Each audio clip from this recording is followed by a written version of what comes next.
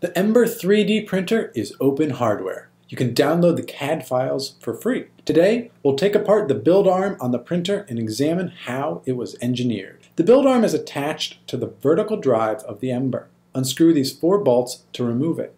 This T-shaped piece interfaces with a slot on the build head. It snaps into place. Magnets inside the housing of the build head correspond to magnets in the T-shaped part on the build arm. On the top of the build head housing, there are three spheres that protrude from the surface. They interface with these three sets of metal pins embedded in the build arm. Together, they form a kinematic coupling.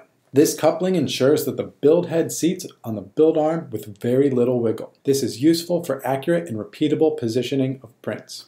Notice that the joint in the build arm can move freely. It can rotate in one dimension and rotate in another, and can also slide up and down.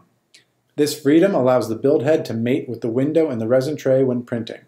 Tightening the calibration bolt clamps the joint and keeps it from moving. If we unscrew these three bolts, we can see how the joint works. The ball joint has a split, and there is a cylinder inside the ball joint. When the calibration bolt is tightened, it clamps down on the ball joint, and the ball joint clamps down on the cylinder. Unscrew the bolt at the top of the lever, and you can remove the handle and slide the ball joint off. Remove the plastic spacers and slide out the inner cylinder.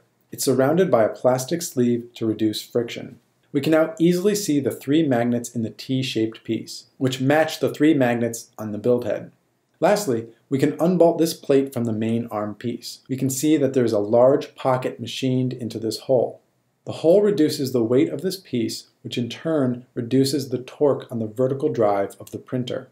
This through hole is the slot that holds a 4mm hex key used to tighten the calibration bolt. And that's how the build arm works. It's relatively simple, but has some clever engineering.